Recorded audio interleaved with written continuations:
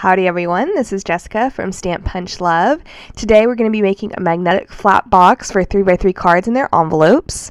Here is my little prototype for my PPA challenge. I used some celebration paper, um, the little hello, um, don't remember where that's from. I'll have to link it down below, but you can see we have plenty of room inside. I did make some changes because I wasn't exactly happy with how that flap went together. Um, and here we go. So we're starting with a piece of cardstock that is 10 and 7 eighths by 5 and a quarter. This is Melon Mambo. And then we're going to score at 3 and a quarter, 4 and a quarter, 7 and a half, 8 and a half, and then 9 and 3 quarters. Um, this is all on the long side, obviously. And then we're going to flip it around and we're going to score at 1, followed by 4 and a quarter. We're going to move the score out of the way and then we're going to fold and burnish all of our score lines. I like to start with the long one, as I've said before, and just do all of those and then I'm going to drop my paper and then I'm going to cut away the two top rectangles that we have side by side. So I'm going to cut across and then I'm going to cut down, but I'm going to cut all the way down into that little square um, because that's going to create a flap. I decided I wanted a flap just to make it a little more clean and finished. Um, it the box just kind of folds together a little better that way and you don't have any crazy gappage. So I'm going to notch in just a little because I feel like it makes a cleaner box, but this is completely up to you. It's not essential to the box. Now I'm going to notch in these tabs. And again, this is one of those things that just make a prettier, more finished box. And with the little squares, we're going to do the exact same thing as far as cutting to that first score line and then notching in.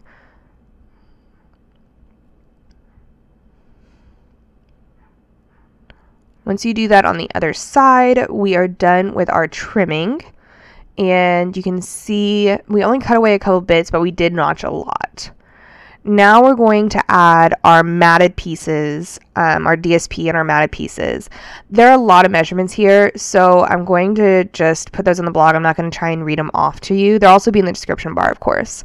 I'm using snail to adhere my DSP bits to my matted pieces, or my cardstock to make matted pieces. And I'm using the Go Wild Designer Series paper stack and the zebra print.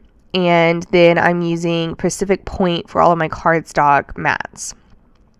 The only tip I have, um, other than remembering to round your corners before you put adhesive on for your flap bit, which I will specify which one's which um, when I write all the measurements down, um, is that if you're using a directional paper, then make sure that you cut um, you cut accordingly.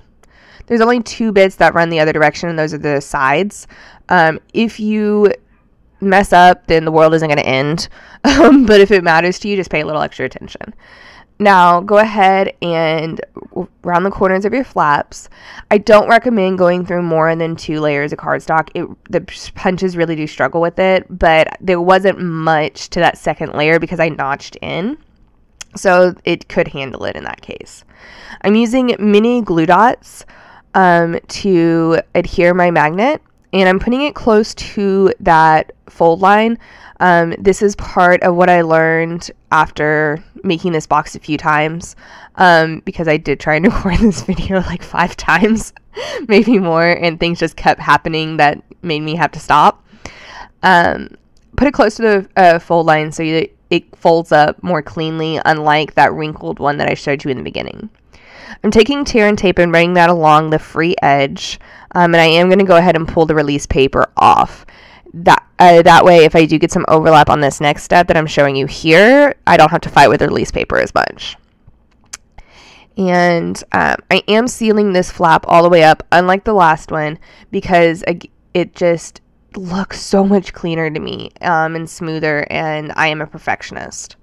So there's that, nice and covered. And part of the reason I put it inside the flap like that isn't just for it being clean. It's because these magnets are really stinking strong. Um, and you have to put some um, some stuff in between them to get them to release. And so that's what I'm doing. and on here, I'm putting all of my uh, mat pieces on except for the front flap because um, we're actually going to put the magnet under that to make it look better and to help it release. What I'm showing you here is that I'm putting my tear and tape along all my free tabs that don't have our RRDSP pieces. And putting them on that flap is there's a reason because what I'm doing is I'm actually going to fold that onto my um, back flap so that it hides that little that little tab piece. Um, it adds some it I think it adds some structural integrity to the box. I could be wrong, um, but not having that flap does actually diminish the integrity of the box. So you definitely want to have that little flap. Whether you put it to the inside or whether you put it in between those is completely up to you. But this is how I like to do it because I feel like it's cleaner and it doesn't have anything to catch on the inside for the stuff that you put inside. So we're almost done with the construction, but I'm going to take a, a moment to do my stamping. I'm using um, black StazOn ink with the Epic Alphabet um, stamp set, and I'm using the W. And I know it's photopolymer, but I'm and people say don't to do this, but I'm using my StazOn cleaner to get the StazOn ink off, and then I um, do a double clean. And after I take that off with the um, paper towel, I clean it with my Stampin' Mist because um, that gets the stamping cleaner off. And I haven't noticed any problems with it um, w- doing that. I haven't noticed any damage to my photopolymer. So I punched out that W with a one and a half inch circle punch. I'm coloring it with my Melon Mambo um, Stampin' Write marker, and now I'm taking a one and three quarter inch scallop punch and t- uh, doing that so I have my layer pieces. Now I'm going to show you what not to do and then what to do. Do not do what I'm doing now. Do not put your dot on um, your magnet and then try and match up your positive and negatives because it will go wrong like it just did.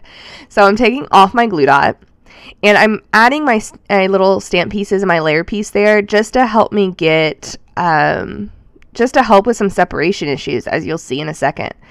So I went ahead and let my magnets stick together so my positive and negatives are in the right place. Now add your glue dot. In this way, you know you're getting it in the right place so everything lines up and the positive and negatives are lining up.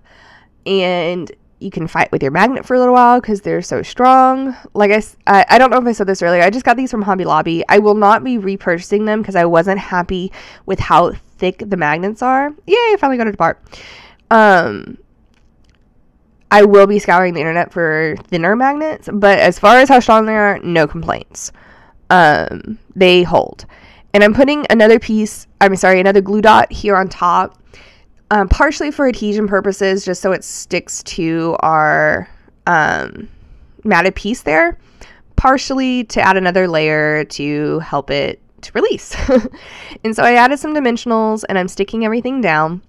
And you could totally leave your box at this point. It's you know, completely decorated. It's cute. I thought about adding a thumb hole and then decided against it. And um, so now I'm going to put in my note cards. I made six of the note cards. They're decorated just like the box, half of them in Melon Mambo, half of them in Pacific Point. So obviously their envelopes and those six cards fit in nicely. And now our flap even releases nicely, but still has a good hold and I'm going to put a couple of dimensionals. You could get away with one if you wanted. Um, a couple dimensionals on the back of my stamp piece, put that on my Melon Mambo piece, and then run some snail along the back of that and stick it in the corner of my box. Obviously, this is a pretty large um, decoration for the size of the box. So I decided against putting another big decoration on the flap. I decided to just go with a single candy dot in the corner just to kind of add a little finishing element. Again, completely optional. But if you notice on my prototype, I did a little gathering of flowers and I put my stamping bit on the top. it's, you know, there's a lot of variety that you can add to this box. I wanted to show you again how much room there is in that. You could you could definitely do some more. Um, and if there's single layer cards, you can do even more for your set. So here's a shot again of my first box and the one we made in the video.